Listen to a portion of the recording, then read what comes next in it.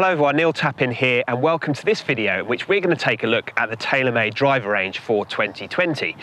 Now obviously TaylorMade are renowned for the performance of their drivers and they are used widely out on tour by some of the best players in the world. So the likes of Rory McIlroy and Tiger Woods and Dustin Johnson all use TaylorMade sim drivers. But how do they translate when they put into the hands of amateur golfers? Well, you have three different driver heads to choose from. The question is which one of these three is right for your game? We're going to take a look at all three of these driver heads. We're going to find out exactly what you can expect in terms of performance from each of them to help you narrow down your search. Right, let's take an in-depth look at the TaylorMade driver range for 2020, starting with this one, the standard TaylorMade Sim.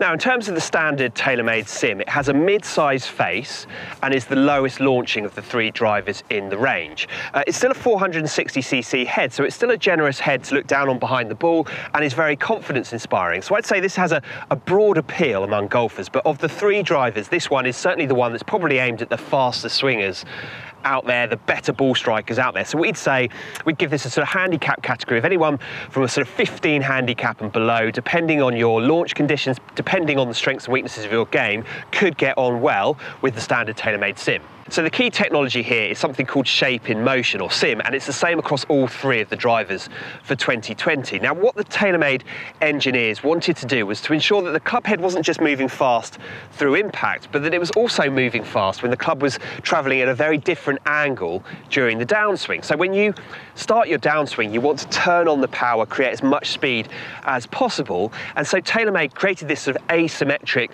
inertia generator, that's what they call it on the sole, to ensure that there is no drag being created at that key phase of the golf swing. So it should help to deliver that little bit more club head speed down through the ball.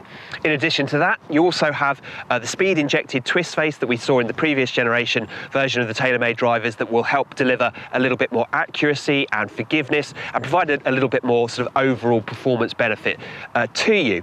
In addition to that, the standard sim also has this sliding weight track that sits just behind the face and allows the player to dial in a little bit of of a shot shape bias, so a fade or a draw should you feel you need it. The standard TaylorMade Sim is the most expensive of the three drivers in the range for 2020. It comes in with a recommended retail price of 479 and clearly that is a lot of money to spend on just one golf club. But in terms of its looks, its feel and its performance, there is no two ways about it. This is a premium package from TaylorMade. It's a really good performer. Um, now I tested this up against the previous generation M5 and M6 drivers and I did see an improvement. It wasn't fast. I think I was carrying this one around about five yards further than the previous generation M5, but the, that, that performance gain, it certainly was there. And I think where you would notice a far bigger difference is if you are thinking about upgrading from a driver that's maybe three, four, five, six years old into something like this, you should notice a difference. You should notice an improvement in terms of the forgiveness, in terms of the overall distance that you're able to get. And I think when you couple that with what is undoubtedly a premium look and feel, I think you have a great all-rounder in the TaylorMade sim.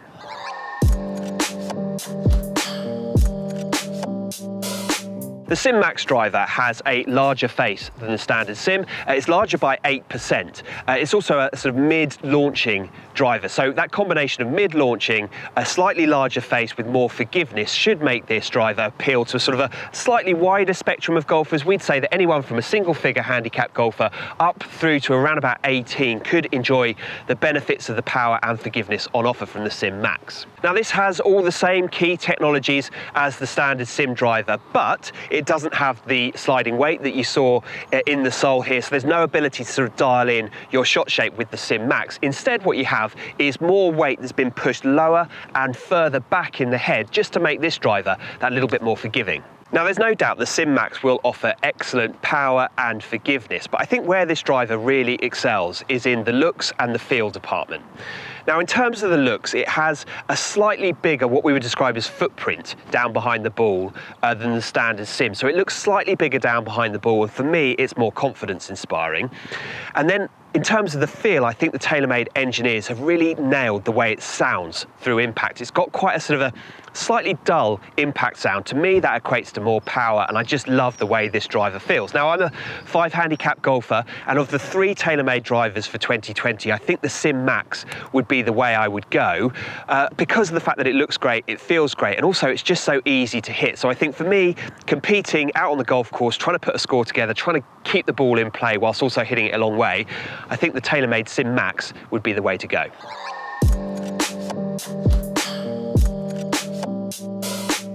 Finally, we have the Sim Max D, and this has the largest face of the three drivers in the range. It's 18% larger than the standard Sim, and it also has a draw bias built in. There's no doubt about it. Of the three drivers, this one is definitely aimed at the sort of highest handicap profile. We'd say anyone from a sort of 12 handicap and above, depending on your specific sort of launch conditions and the misses that you have, could benefit from using the Sim Max D. Now, as previously mentioned, the key technology here is all about the fact that this driver is designed with a draw bias to help you sort of eliminate those slice shots out to the right for right-handers, the right-hand side of the golf course. Uh, the way in which they do that is through um, some internal weighting, so there's a weight placed into the heel of the driver just to help straighten out shots that would otherwise leak out to the right. And in addition to that, TaylorMade have what they describe as their divergent top line masking. Basically, it's a way of creating this sort of the two-tone crown, this chalk white finish here. Essentially, the driver sits slightly closed, but they're able to mask that with the way in which they've designed that crown to make it feel as if the driver sits nice and square at address. Now, in my testing of this driver, there were a couple of things that were really quite noticeable. Firstly, this is a higher launching head. Now, actually, the model that I was testing did have a little bit more loft built into it, but it was pretty easy to get up and away. I think if you're somebody that perhaps is a, a slightly sort of mid or slow swing speed player, you're going to notice how easy this one is to flight. The second thing I'll say is that clearly the work that TaylorMade have done internally to create that draw bias, it's noticeable. It was noticeable as soon as I hit this. Um, shots naturally wanting to sort of fall out of the air and shape from right to left. For me, I would have a, generally speaking, quite a neutral ball flight, whereas this was just providing that little bit of shape. So if you are somebody that does tend to hit a fade and you want a little bit more distance. Alternatively, if you're somebody whose bad shot is a slice, then this driver and the, the sort of natural setup of this driver could really help you.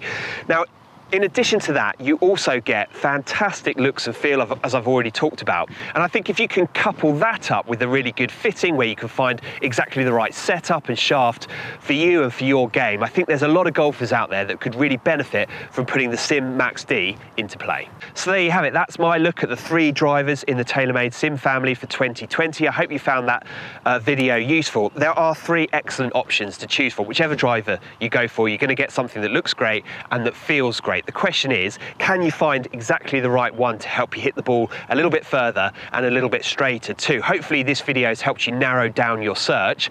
But as we always say, make sure that if you are interested, you go for a full and thorough custom fitting. Make sure you get the right setup and shaft for your game. If you get it right, there's no reason why you shouldn't find a driver that stays in the bag for a very long time.